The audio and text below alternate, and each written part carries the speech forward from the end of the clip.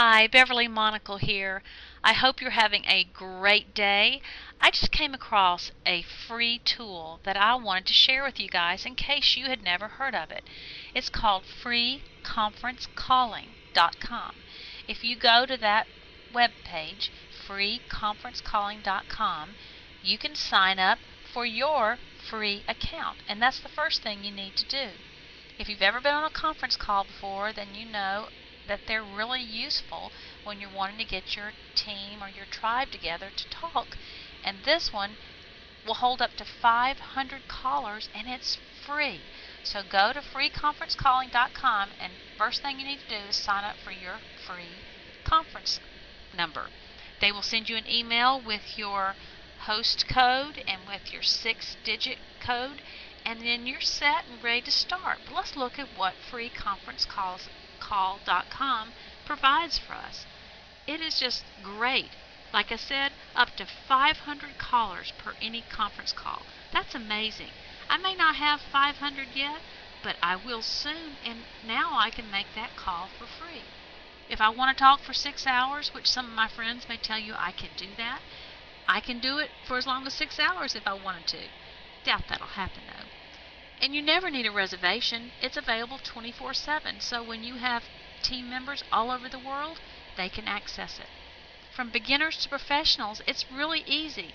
There's three easy steps. Know the time of your call, let everybody else know about it, call your conference dial in, then enter your conference codes, your six digit conference code and your four digit host code.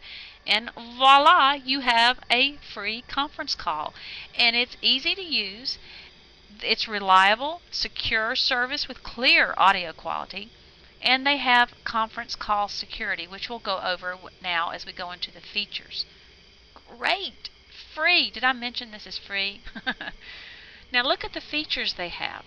When you do your call, at the same time, you will pull up this website and you will log in with your six digit code and your host code. And you'll have a screen show up. And these are all the things that you can do on your screen. You can, as the host, you can mute and unmute the conference, lock and unlock the conference, continue the call without the host. If you need to leave but others want to keep talking, you can make that uh, happen for them. You can self mute yourself conference recording on or off. You can either choose record it or not, and it's free even when you record. You can require everybody to announce their name, uh, attendee roll call, attendee total count, and new attendee tone on or off. And if you've ever been on conference call, I'm sure you've heard those little beeps that everybody as they're signing in. It can become annoying, so when you get ready to record, turn that off so you won't have it in your recording. The attendees can self-mute themselves, and if they have a question, they can raise their hand and a little question mark comes up by their name and you know there's a question. And then when you have a guest speaker, they have an access code that they can use. Now let's look at what you can do when you recall when you record, excuse me. You can create a podcast, you can download and archive your recordings, you can publish it to a website. Maybe you're making a squeeze page and you want to give away a free recording of an interview you did with somebody really important, this is a way to do it for free. And then you can also go to freeconferencecalling.com and access the recordings directly from there. And I'm, I'm going to blow this up so you can see it. When you're behind in your little back office, you can always edit the names of every call put so you'll know what the call's about. Adjust the volume when you're listening to it. You can download it. You can create a podcast. This is your embed code, so you can put it on those squeeze pages or your blog. You can mark it private or public, or you can just delete it if you don't need it anymore. Then, when you are on your call, and I told you you need to sign in, this is what comes up when you're on the call. This is what comes up on your like little back office. Every person who's on the call's name, you have to, well, the phone number shows up, then you ask them who it is and you put their name there. That's something you have to do the first time they call, but every time they call again, it automatically shows up their name. You can mute people. If they have a question, this is what shows up by their name, so you know to unmute them so they can ask their question. And maybe you've got someone on there that's being obnoxious and just they aren't being helpful at all. You can actually give them the boot by exiting them off and they're out of the call.